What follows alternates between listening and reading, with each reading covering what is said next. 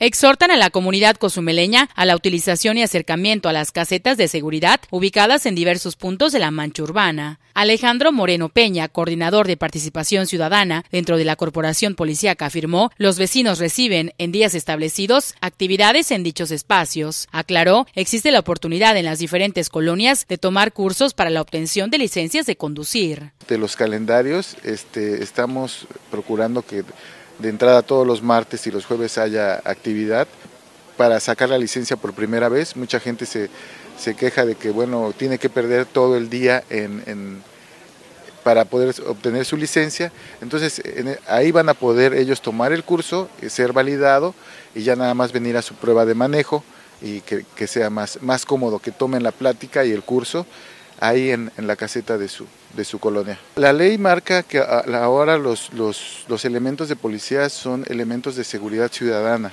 Entonces esto pues también nos está llevando la capacitación por parte de la Dirección de Seguridad Pública para que los elementos entren en este nuevo esquema donde tiene que haber un acercamiento hacia los ciudadanos.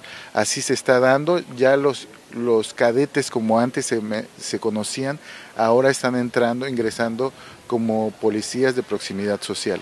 Ellos están tocando las puertas en las diferentes casetas y atendiendo los reportes de la ciudadanía. Moreno Peña aseguró, actualmente Cozumel cuenta con 14 casetas, únicamente una sin funcionar, con dos elementos a cargo y uno más destinado a la proximidad social. Dijo, ha sido necesario modificar la sectorización para que la atención a cualquier problemática sea a través de las mismas. Hay dos elementos destacados por caseta más un elemento de proximidad social para que sean desde las casetas donde se atiendan los sectores.